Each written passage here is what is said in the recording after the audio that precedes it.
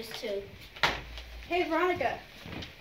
Hey, wait, what are you doing? I was reading newspapers and then um, everything I was reading was bad news. Ooh, like this. so sad. Well, guess what? I got some good news right here for you. Do you know what this is? No. This is a Bible. You know what's in it? What is in it? A lot of good news of what Jesus has done for many people because he loves us. Thank you. Bye, Veronica. Bye.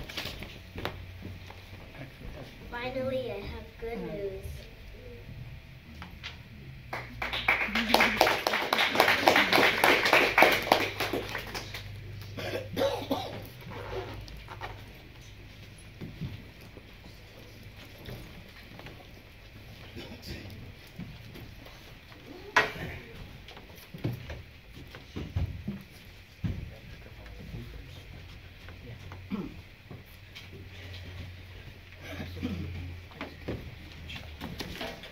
Good morning, church. Good morning.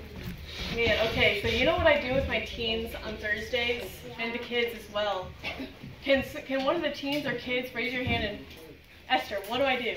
Um, you know, every we like say hi, hi out. Yeah, yeah. So I ask them to say. So I I always say, "Hey guys," and they have to say it really loud, or else I don't think that you guys are here. I don't think you guys are awake. So I'm gonna do the same thing with you guys because I think it's the same here. I wanna I wanna know that you guys are awake. I wanna know that you guys are here, especially those who went camping this past weekend. You gotta stay awake. You can't fall asleep on me. All right, so we're, we're gonna we're gonna we're gonna try this. Okay? Are you guys ready? Good morning. Good morning. I mean, that, that was a little bit better. We're going to try this one more time. I know you guys have it in you.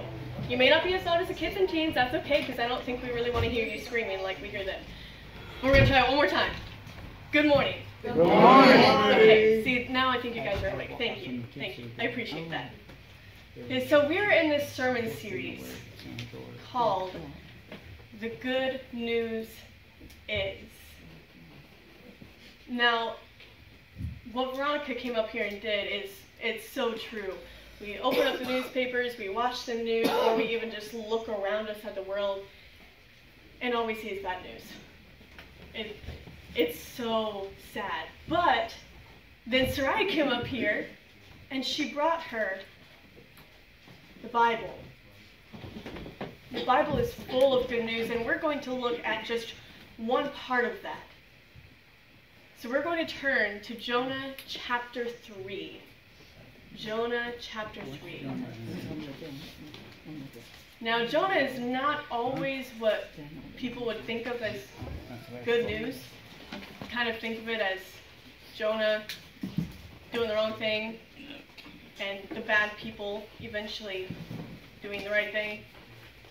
But really, this book is full of absolutely incredible good news. I, want to share that with you, but first we are going to read Jonah 3. Then the word came, the word of the Lord came to Jonah a second time. Go to the great city of Nineveh and proclaim to it the message I give you. Jonah obeyed the word of the Lord and went to Nineveh. Now, Nineveh was a very important city. A visit required three days. On the first day, Jonah started into the city. He proclaimed, 40 more days and Nineveh will be overturned. The Ninevites believed God. They declared a fast, and all of them, from the greatest to the least, put on sackcloth. When the news reached the king of Nineveh, he rose from his throne, took off his royal robes, covered himself with sackcloth, and sat down in the dust. Then he issued a proclamation in Nineveh. By the decree of the king and his nobles, do not let any man or beast, herd or flock, taste anything. Do not let them eat or drink, but let man and beast be covered with sackcloth. Let everyone call urgently on God. Let them give up their evil ways and their violence. Who knows? God may yet relent and with compassion turn from his fierce anger so that we will not perish. When God saw what they did and how they turned from their evil ways, he had compassion and did not bring upon them the destruction he had threatened. Let's pray. God, we thank you for your word. We thank you for the insight it gives us into who you are and to what you have done for us and what you continue to do for us. I ask that as we continue that you would speak in everything that is spoken. This is in your name, Jesus. Amen. Amen. So, I have a couple sets of good news for you today. The first has to do with the Ninevites. the Ninevites, in my mind, represent non Christians. See, the Ninevites, they were absolutely evil. I mean, like, pure evil. Now, has anyone in here seen the VeggieTales Jonah? Oh, yeah. Oh, yeah. Great movie. So, in the VeggieTales Jonah, what happens is the Ninevites, they have these fish, these nasty, dead, awful fish, and they stop each other with them that's how the Veggie Tales shows that these people are evil, and the bigger fish they have, the more evil they are. But you know, they end up hurting everybody around them. These Ninevites were terrible. Now in real life, these Ninevites they would go to war and they would absolutely obliterate everyone that they came in contact with. And when I say obliterate, I don't just mean like normal war stuff. I mean they would do disgusting, terrible things to these people. They didn't just go and kill people, they went and tortured people. The Ninevites were awful. Think of the worst person you can think of, and then think like a thousand times worse. These people were terrible. They were the people that if you meet one, you run the other direction as fast as you possibly can, because if not, then you're going to be tortured and killed.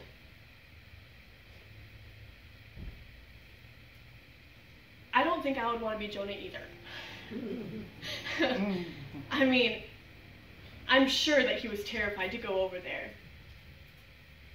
And in some ways, it's almost like, God, why? Why would you send him to the Ninevites? Why not go to some other nation that doesn't believe in you? Like some nation that maybe, I don't know, like, don't torture people? Maybe some nation that's not as bad as the rest of them. But what a, an amazing example of God's love. See, the Ninevites were the worst of the worst people on the earth at that time. The worst of the worst. And everybody agreed.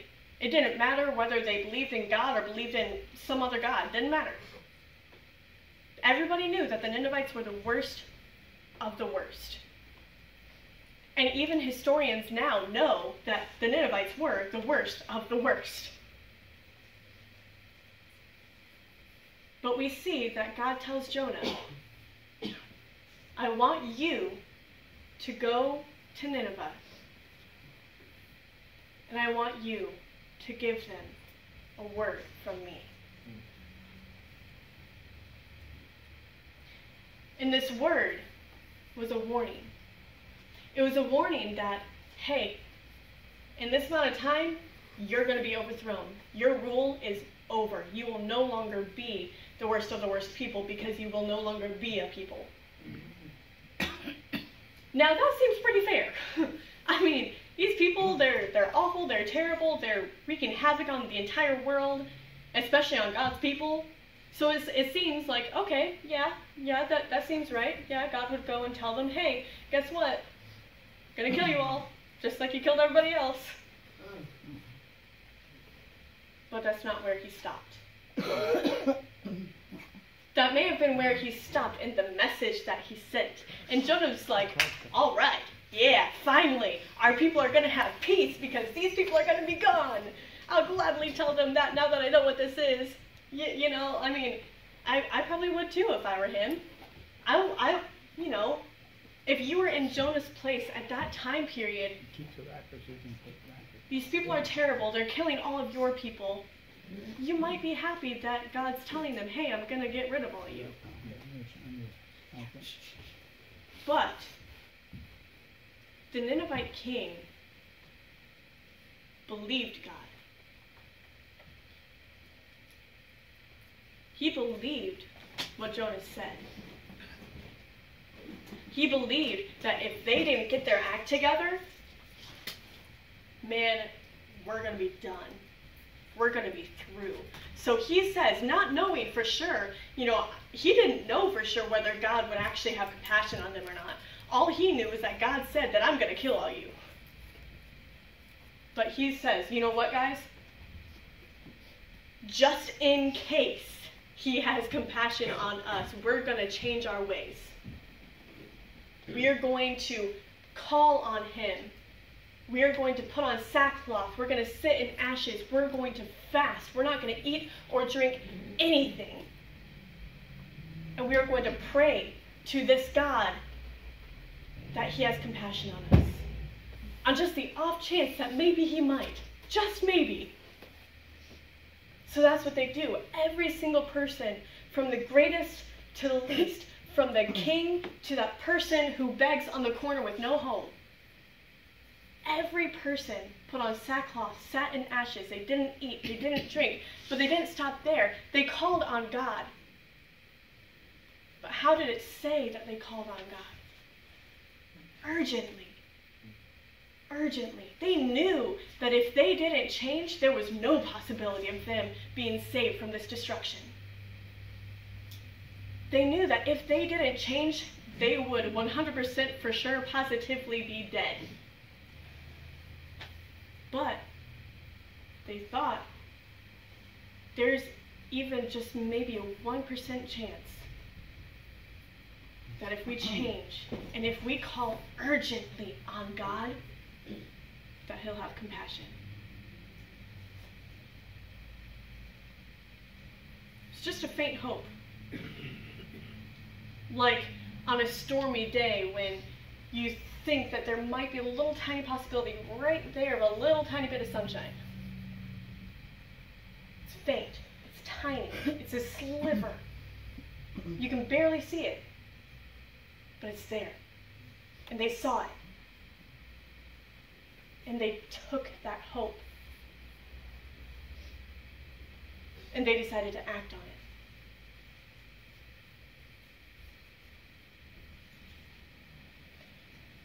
How many times do we think of salvation as that 1% chance?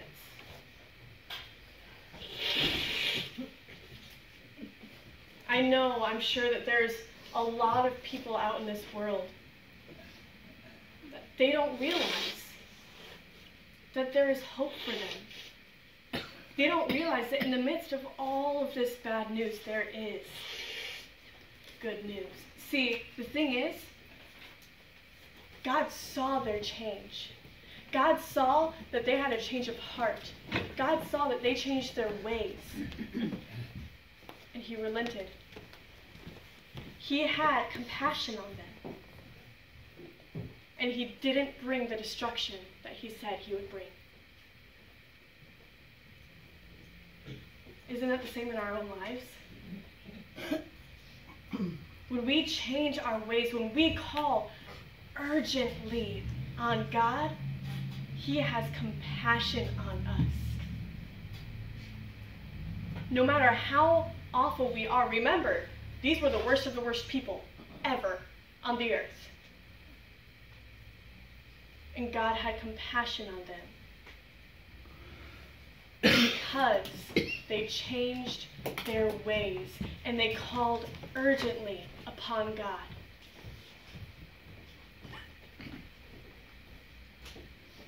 If you don't know Christ, He's giving you an opportunity. He's giving you that hope. saying, If you call urgently on me, if you change your ways, I'll make that hope become reality. And I won't bring the destruction on you that I promised. That is good news. But there's more good news. We're going to move on to Jonah. Jonah was told by God to go give a message to the Ninevites. Like I said, I'd probably be terrified to do that too. Jonah said no. He flat out told him, I refuse to go. In fact, I am going to get on a boat and I am going to go in the exact opposite direction of where you told me to go. Because then maybe you won't find me. And may- then maybe you won't force me to go. He refused. He ran away from God. he, he, Jonah even tried to run from God's presence. He didn't want to be near him. He was like, I'm out of here, I'm done, I can't deal with this. No.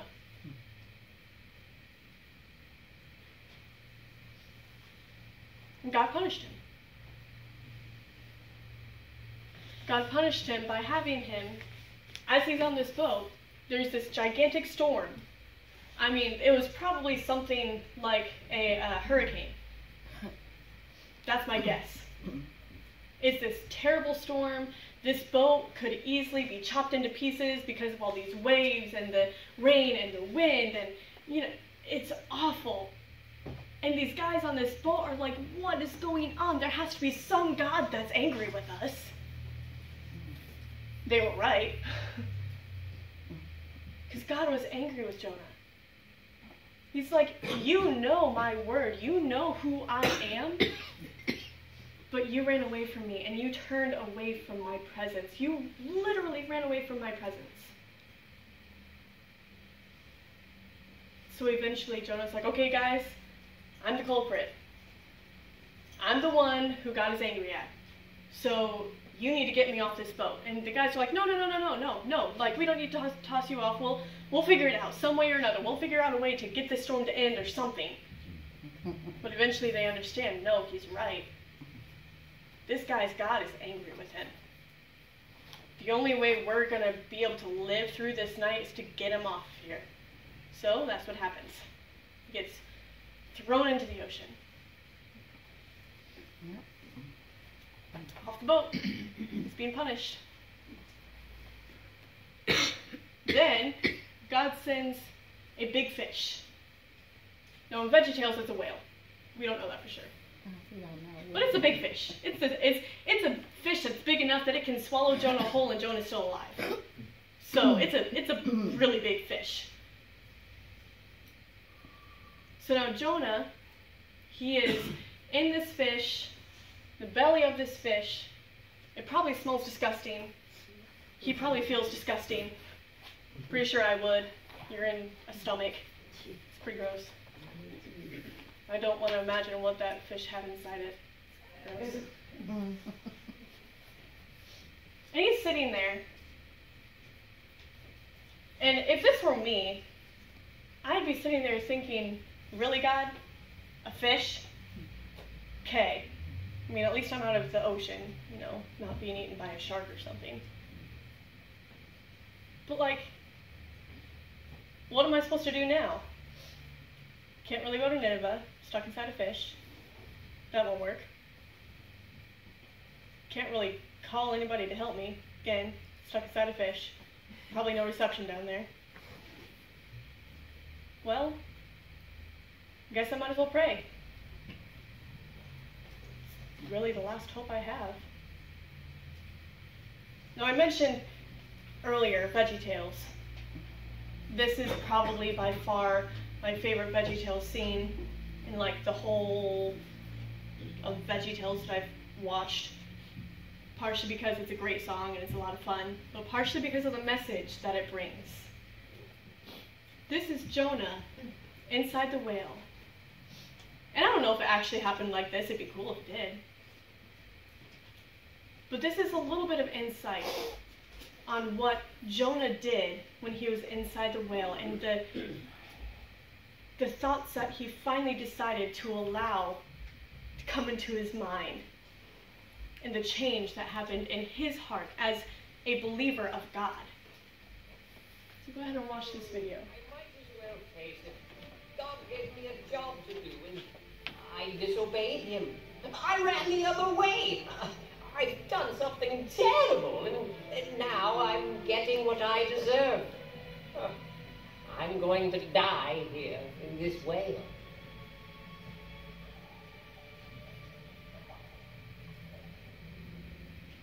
Have you ever seen anything so pathetic? Mm-mm. This boy needs some help. What? Who's there? Take it easy, Jonah. We're on your side. How did you know my name? How did you get in here? Were you in the boarding board too? That's not how we get around. No, we came straight from the big man himself. You mean? Mm-hmm. And just like you, we deliver his messages. So you're prophets too? Not exactly. You see, we work on a slightly higher level. You do? And Jonah, we've got a message for you.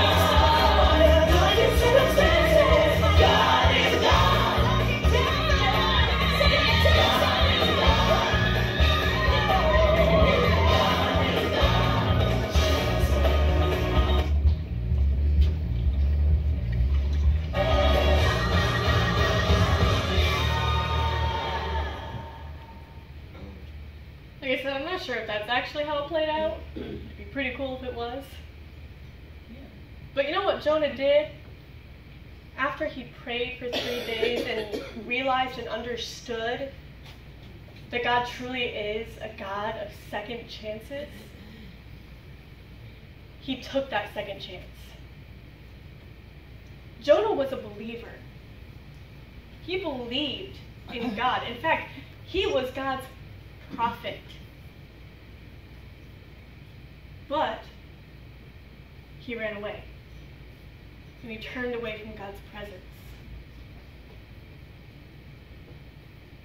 Maybe there are some of you here today. You were a Christian at one point.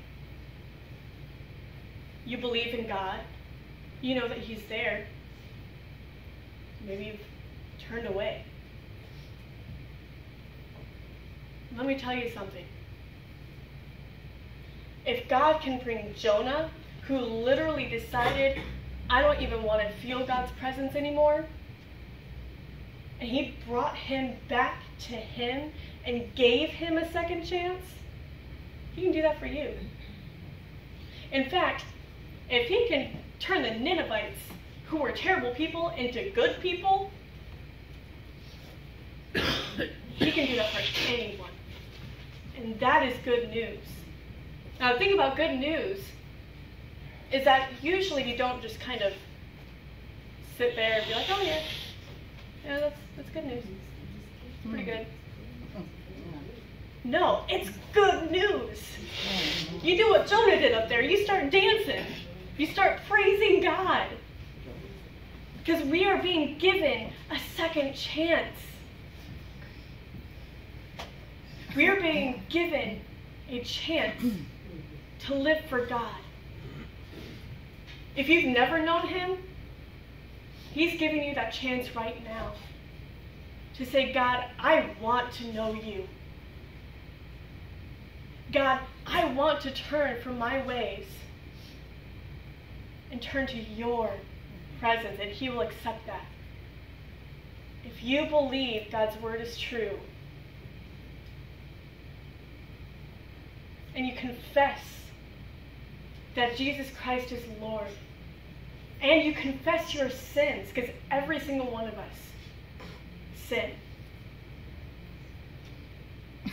You confess your sins, you believe that Christ is Lord, you confess that He is Lord, He will accept that. He will say, Welcome home. I'll give you that second chance. I'll make sure that that hope becomes a reality.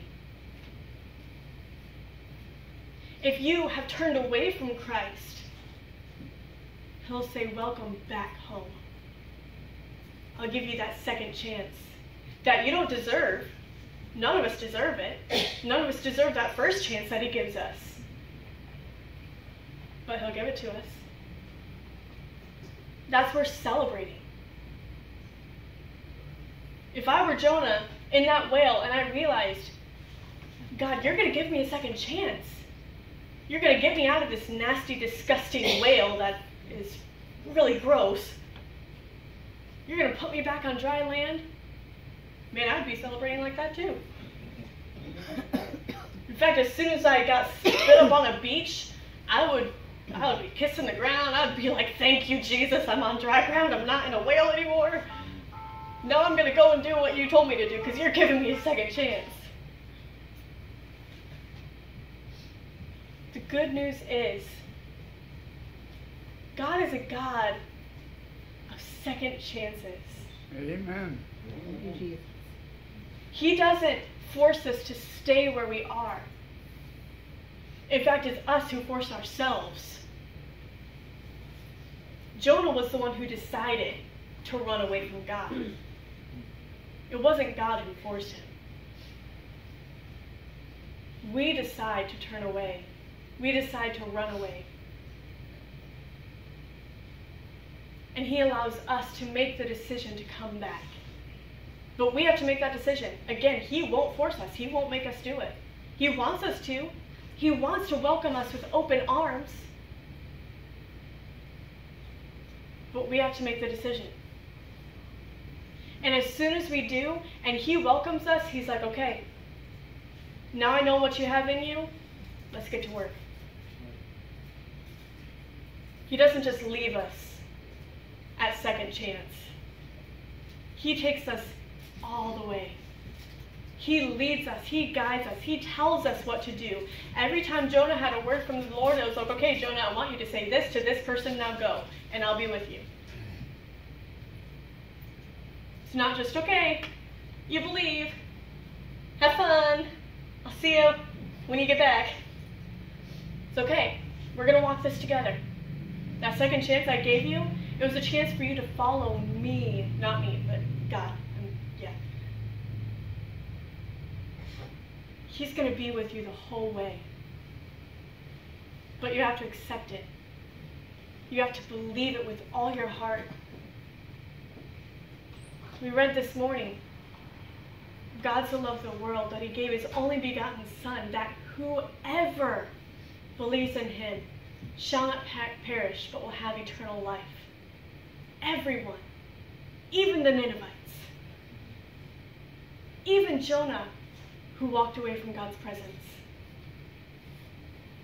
The worst of the worst can become the best of the best by turning to God, by accepting the second chance. And once you're given that second chance, go and celebrate. If you've already been given that second chance and you've already accepted it, continue celebrating. That way we can show others, just like Jonah did, you can have a second chance too. Because that good news shouldn't stay with us. With all the bad news in the world, the world needs some good news. And we've got it. Let's accept it, celebrate it, and give it to the world. Pastor Mara, if you want to come up and finish us out.